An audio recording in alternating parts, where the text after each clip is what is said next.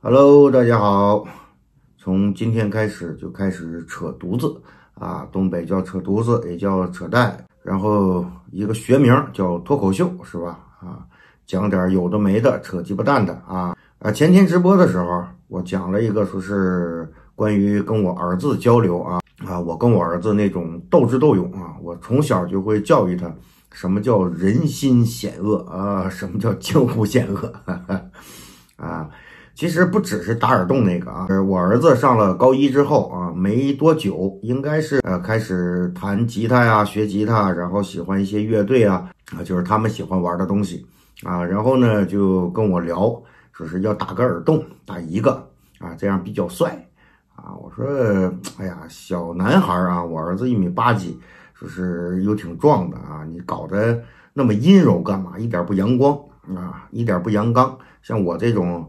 就是也算是老男人了，是吧？嗯，然后跟他妈又在磨，磨了几天，他妈也不同意啊。正好呢，我爱人是要要回黑龙江，然后一个多月回来吧，就剩我们爷俩了啊。我儿子跟我说，因为他知道很多事儿啊，我们爷俩有个约定，只要我儿子确定啊，或者说下了决心决定了啊，我绝不干涉，绝不干涉。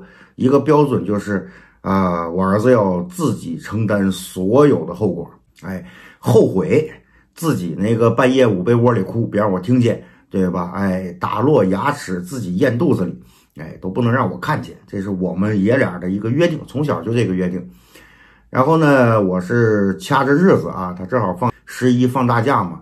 放的一周，正好放了一周，我同意了。我说那个想打就打呗，老爹拉着你去找一个正规的那个打耳洞的美容院，啊啊，别去那个路边那种，贵点便宜点也不差那个多少钱，啊。然后我掐算的是一直到那个周日，啊，因为他周一要上课嘛，然后周日下午，呃，四点多钟就要给送回学校，他晚饭要在学校里边吃。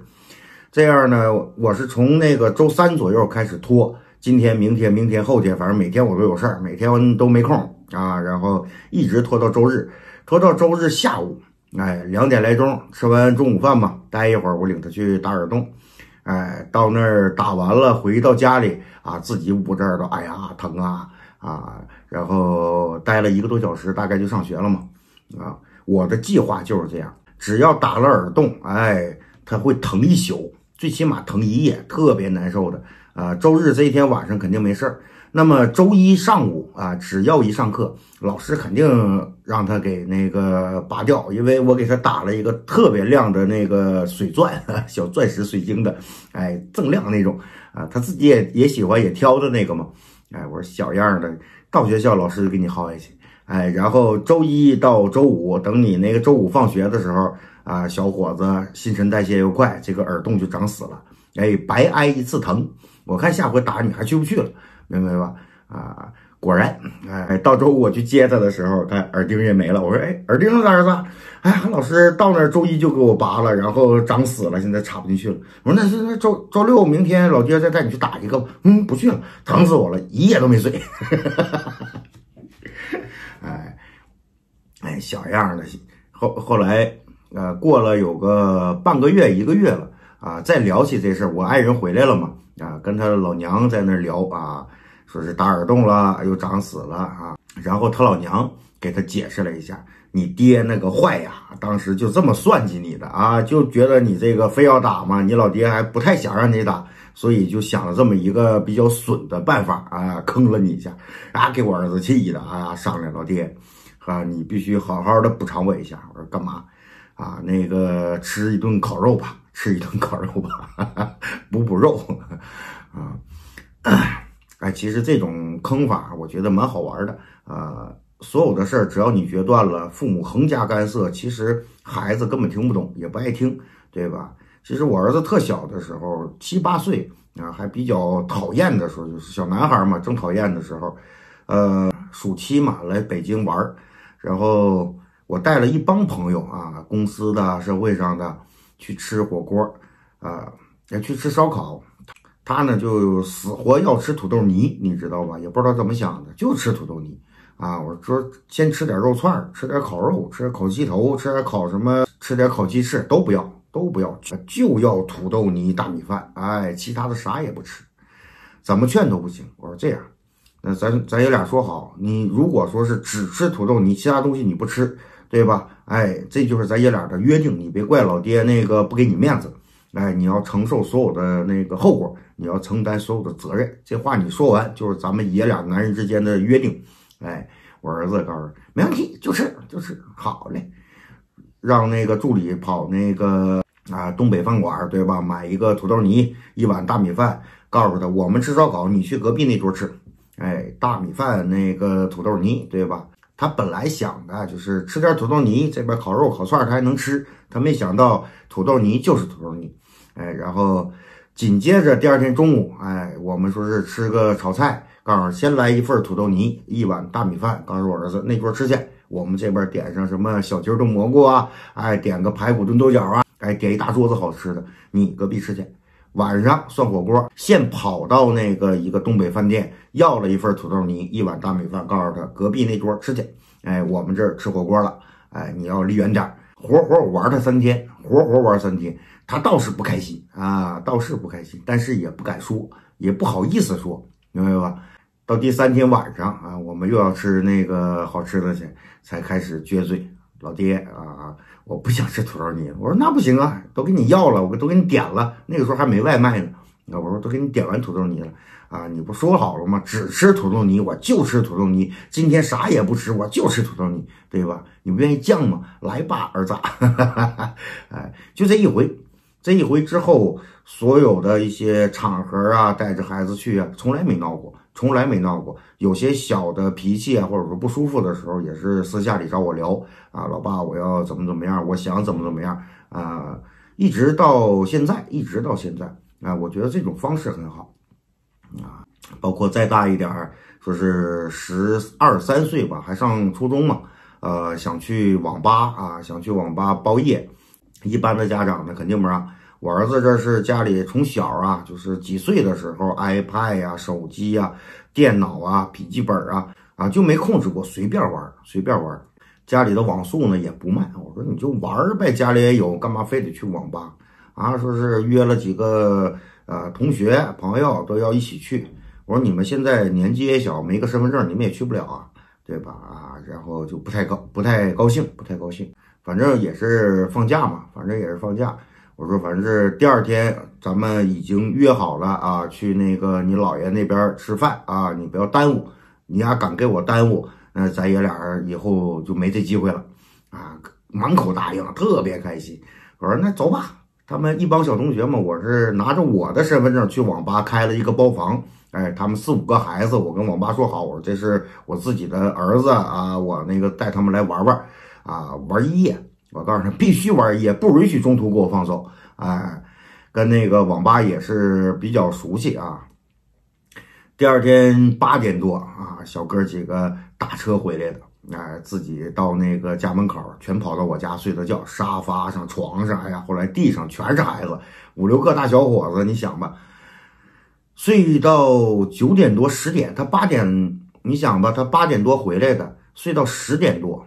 哎，就让我给喊起来了，换衣服走，哎，去你姥爷家，小样的，那吃饭的时候都这样，困的啊一天，嘿嘿嘿，哎，就那一回，也是就那一回，再之后就，再之后就知道了啊，这个老爹的坑都挺深，他他是从来没想过，呃，玩一夜电脑，然后第二天不让睡觉，呃，又要去吃饭应酬，这一屋子人想睡都没地儿的时候。啊，他姥爷过生日嘛，好多人去饭店又折腾回来，对吧？也没机会睡觉，他完全没有概念啊，到底会有多难受？哎，你让他感受一次，他就知道了，他就知道了啊。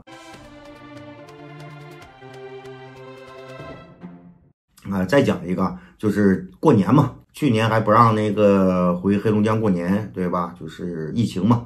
然后在天津这儿呢，也是一帮小朋友啊，小伙伴啊，也不知道怎么想的，搞要来个锡纸烫，活活留了将近一个月的头发，死活都不剪，都那样了，哎，为就是为了搞个锡纸烫啊。然后他妈说是小男孩烫的干嘛啊？不行，就要去啊，同学啊什么，其实青春期的孩子犟起来，你是越劝越不行哎，越劝他越跟你犟着走，跟你对着走，对吧？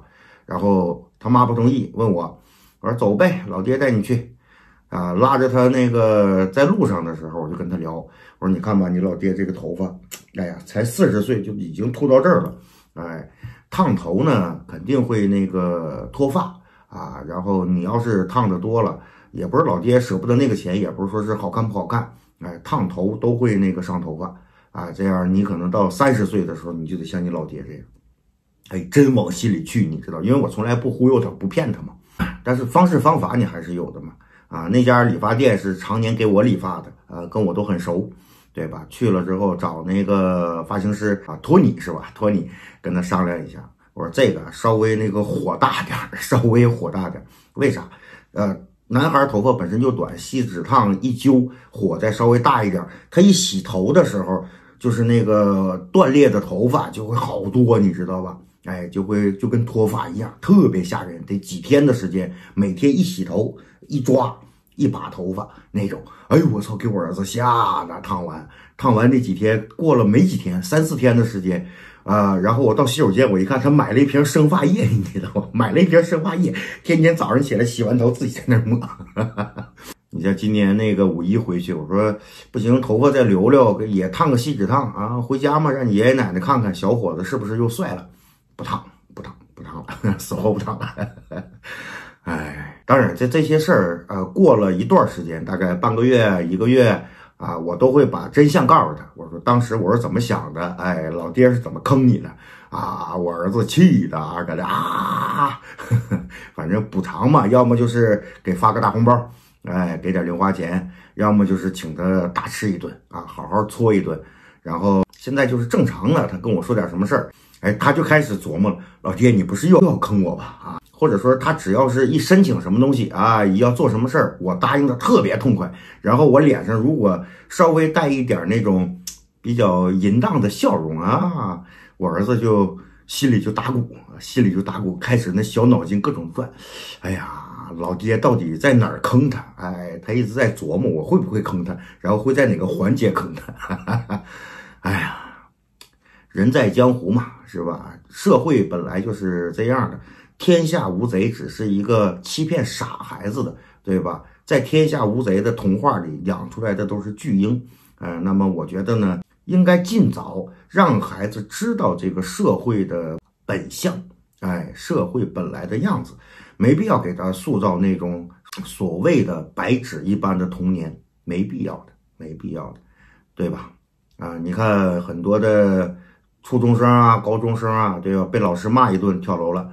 啊，女朋友失恋了，对吧？跳楼了，自杀了。哎，考试没考好，怎么自己自虐了？各种问题，各种心理问题，其实就是活在家长、老师给他编织的这一个五彩斑斓的肥皂泡里，他与外界、与世界完全隔离，对吧？